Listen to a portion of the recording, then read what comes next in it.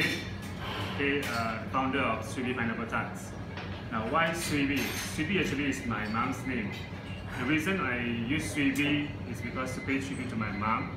Uh, originally, the recipe is from her. Pineapple tarts, the recipe is from her. Yeah. So, now, why pineapple tarts? Actually, pineapple tarts is involved not only merely a tart itself, but it's more of the culture, tradition, and history. Yeah, pineapple itself in the history part, pineapple uh, actually started grown from South America. When it brought, brought to Malaya by the Portuguese in 1500. So because Portuguese uh, people are famous for uh, Portuguese tarts. So Peranakan are the one who actually uh, started with the pineapple tarts.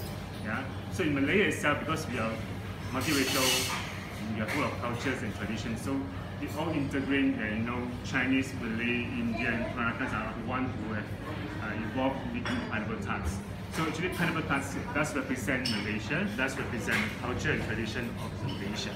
So I'm trying to build this to introduce to uh, more people in a way that we should try to carry on our culture and traditions of making pineapple tarts and, and enjoying pineapple tarts. Because making pineapple tarts itself, the process itself is not as simple as it starts. You know, from choosing the, the right pineapple, cutting it, cooking it, making the pastry, and become a pineapple tart. It's all about the processes. It's all about the love that you put into making the pineapple tarts.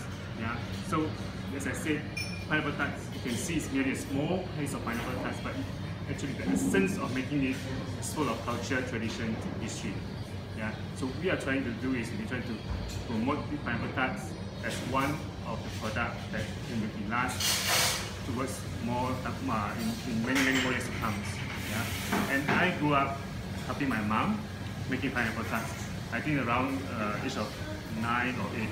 So she's the one who uh, teach me how to make pineapple tarts. From there on, so I captured the essence of her interest in cooking and baking. So this is where I am now.